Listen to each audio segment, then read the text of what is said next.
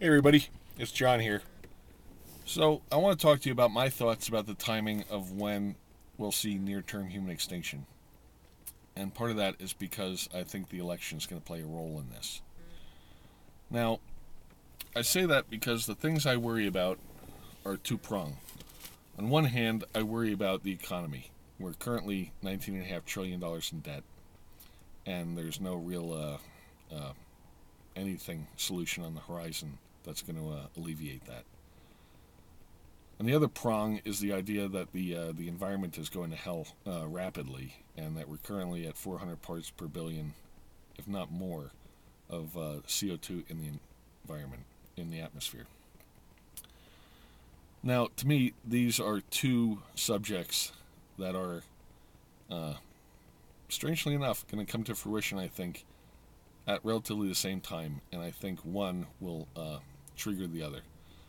I don't think uh, along those lines that what we will see is something like the Ross Ice Shelf uh, cascading into the ocean and that causing uh, an economic hiccup. In fact, I think it's going to be the op- opposite. I think uh, what we're going to see is a, uh, a problem with the economy that's going to trigger an environmental effect. And here's why, or here's how the two are related. As I said, we're at $19.5 trillion in debt and that's uh, public debt to gross. Uh, I'm sorry.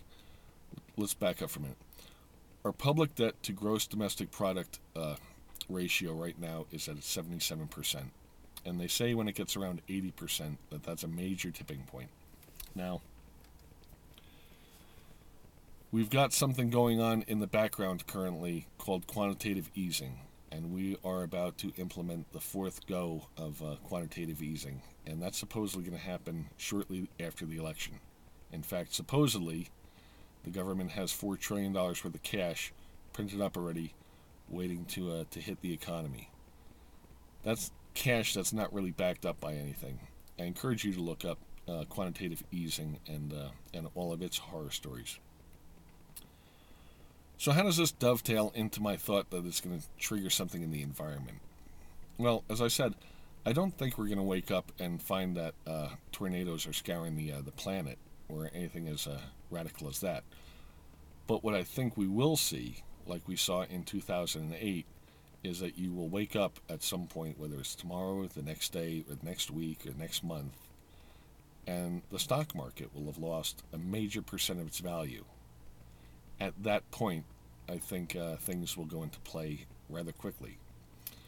Because a stumble in the economy or a reduction in the value of the stock market will cause a slowdown in our industrial output. Whether it's our industrial output, China's industrial output, or some other country, what we don't need is to have the economic engines stumble and pull down and slow our industrial output. The reason being, we rely on industrial output to put pollutants in the atmosphere, also known as sulfides. And it's that pollution in the atmosphere that creates what's known as a global dimming effect. We actually need pollution now to reduce the effects of greenhouse emissions on our planet. If we have a reduction in industrial output, as a result of economic stumbling, what will happen will be those sulfides will precipitate out of the atmosphere, as we saw in 9 11. When they grounded the airplanes, apparently, that caused sulfides to precipitate out and caused a slight raise in uh, atmospheric temperature. If we have something similar to that as a result of a hiccup in the economy, if the Dow Jones loses a massive amount of its uh, value, if industrial output slows or comes to a stop or pauses while the government or the, uh, the Federal Reserve or some other branch tries to figure out what's going on and how do we move forward, those sulfides will precipitate out and that will trigger an environmental uh, problem. And that might be the point where uh, you wake up the next day and it's five degrees hotter on average. But, you know, it's not going to get five degrees cooler. That much we can be sure of. I tie this to the election because I think both candidates don't really have a firm grasp on how to stabilize the economy or how to basically get us to, back to where we need to be. In that case, I think we're in a uh, screwed or doomed situation regardless of who you vote for. Along those same lines, I think it's just a matter of time. And uh, if you're environmentally oriented, you look at the time frame as being anywhere between uh, 12 months and uh, five years as to when uh, things are really going to get bad environmentally. If you're an economically oriented person, you are operating on pretty much the same timeline as a result of this quantitative easing thing that I mentioned earlier. Uh, with the debt like it is, uh, we've got uh, maybe a few months, maybe a few years, but we can't keep spending like we have been. So, as I said, it's my opinion that it'll be the economy and a, a faltering in the economy that will trigger an environmental event that will ultimately bring about uh, the near term human extinction.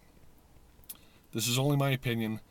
I, uh, I base it on a lot of videos and a lot of research that I do about the environment. Uh, and I also treat my, uh, my economic considerations the same way. I, I try to look at everything with a major grain of salt. I encourage you to take what I'm saying with a major grain of salt as well. Do your own research. Look up uh, global dimming if you don't know what that is. Look up quantitative easing if you don't know what that is. Uh, and look at the, uh, the Dow Jones and where it is and try to figure out, let me know why you think the Dow Jones is so high. Uh, if you have any thoughts about this, I really welcome them. If you have any comments about them, I welcome them as well. Uh, if you care to subscribe to my channel, that'd be great. Otherwise, uh, look forward to hearing from you, and uh, talk to you later. Shelka 04 out. Thanks.